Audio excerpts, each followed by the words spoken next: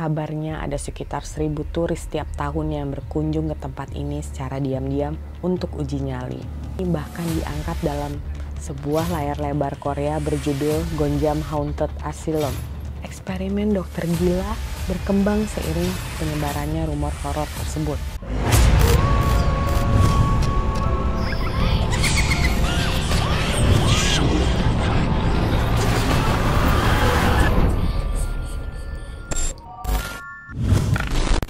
Jumpa lagi di Cerita Ara. Kali ini aku akan menceritakan tentang kisah rumah sakit jiwa Gonjam yang terkenal angker di Korea Selatan. Korea Selatan selama ini dikenal dengan keindahan negaranya, seperti Pulau Jeju dan Busan, serta hawa romantis di Nami Island. Negeri ginseng ini juga terkenal dengan klinik operasi plastiknya yang banyak terdapat di setiap sudut kota. Namun di balik indahnya yang ditawarkan Korea, mereka juga punya tempat yang menyeramkan. Jika Jepang punya hutan Aokigahara, maka Korea Selatan punya rumah sakit Gonjiam.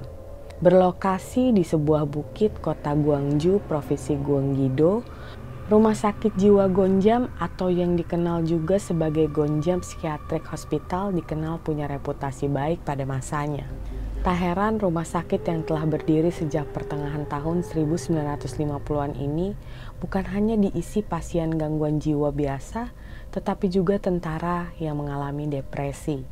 Apalagi karena dulunya rumah sakit ini dikelilingi daerah pemukiman penduduk, sehingga memudahkan pengunjung untuk mengakses tempat ini.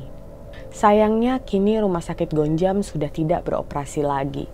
Bangunan rumah sakit ini rusak terawat serta dipenuhi rimbunan tanaman membuat kesan angker di tempat ini semakin terasa. Reputasinya sebagai rumah sakit jiwa yang baik juga berubah menjadi rumah sakit jiwa berhantu. CNN bahkan pernah menyertakan rumah sakit Gonjam sebagai salah satu tempat terseram di Korea Selatan. Selain karena lokasinya, kesan angker dari rumah sakit Gonjam juga terlihat dari cat yang mengupas barang-barang yang berserakan, sampah, cermin yang tergantung, dan noda di dinding.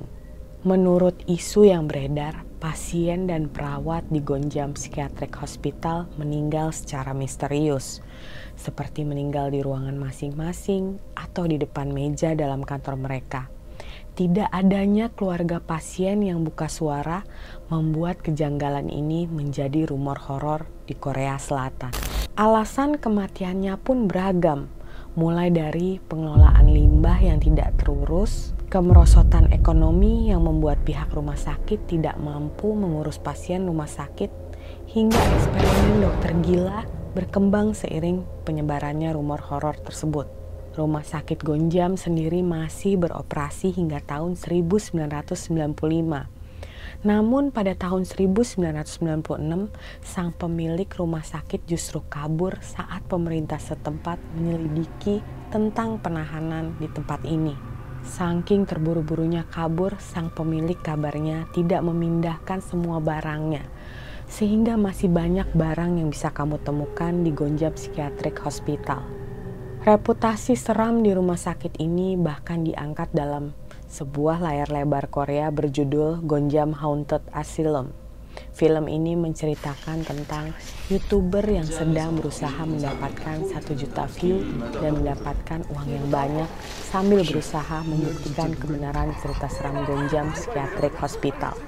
Terhitung sejak tahun 2011, rumah sakit yang terdiri atas lima lantai ini resmi ditutup oleh pemerintah setempat atas permintaan keluarga pemilik rumah sakit.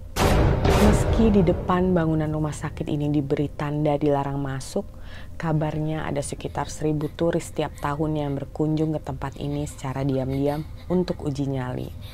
Beberapa di antaranya bahkan mengaku pernah melihat penampakan atau mendengar suara aneh dari dalam gedung. Untuk kamu pencinta Korea, apakah kamu tertarik untuk mengunjungi rumah sakit Gonjam ini?